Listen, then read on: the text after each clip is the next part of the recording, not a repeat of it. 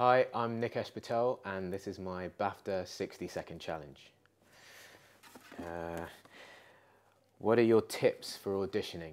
Prepare in as much uh, detail as you can, know the, know the script and the lines inside out, and then uh, try as hard as you can to throw all that away and um, be as relaxed and try not to care for the audition. That seems to be, uh, seems to get the best results.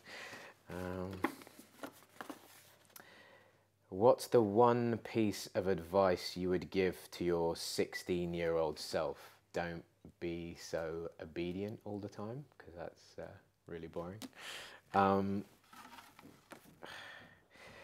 ooh, who should play the next Doctor Who? I think Paterson Joseph would be a really good Doctor Who. Uh, Who's the first person you make friends with? Who's the first person you make friends with on set? Um, I think the the most important lesson is that everyone is really important on set, and you kind of disregard that at your peril. Um, so yeah, make friends with everyone.